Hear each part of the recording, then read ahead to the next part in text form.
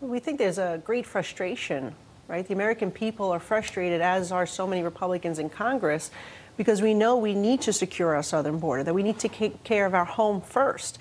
Uh, and we're not getting that type of cooperation from Schumer, from the Senate, or even from McConnell in some points. Uh, we've been pushing hard to pass uh, our Border Security Act out of the Senate. It passed the House in May, and it would go back to the previous policies of the Trump administration that were working, that secured our border, that were stemming the flow, this unsustainable flow that we're seeing of migrants, of fentanyl, killing and poisoning our young people in America. And yet, we cannot get Senator Schumer to even bring it to the floor for a vote. And I feel very confidently that if he just brought it to the floor for a vote, actually let democracy take place, that you would see that bill pass the Senate and we could send it to the president's desk. John Burnett, I'll bring you in here. I, I, this seems going to seem like a simple follow up to what uh, the Congresswoman just said. Why? Why won't Schumer bring it to the floor? Why won't they act on this? Because bringing it to the floor and having it pass means that everything that they've been saying for the last several years was all wrong. The thing is, is that Bingo. people, the everyday working class citizen who votes, who pays taxes, who are feeling the brunt of the inflation, and feeling the, the, the, the budgetary crunch.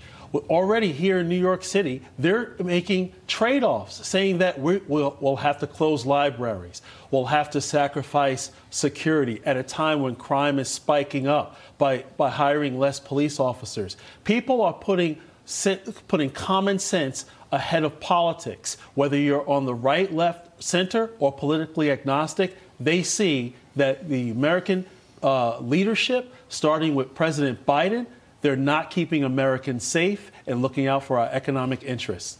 Congressman, why do Democrats, or most of them anyway, seem unable to admit that we have a terrible border crisis? And why don't they seem to want it to stop?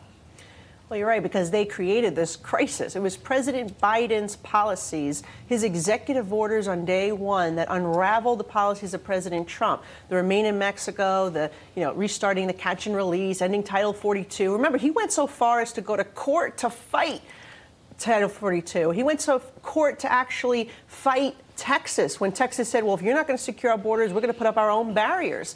Uh, this is what President Biden has done, and the Senate Democrats and the Democrats locally have just incentivized more illegal immigration. The reason we have this crisis in New York City right now is because our mayor and our governor continue to offer free incentives, housing, education, free attorney services, uh, and, and, and they are incentivizing this problem, and they're not working with us to resolve it. Why?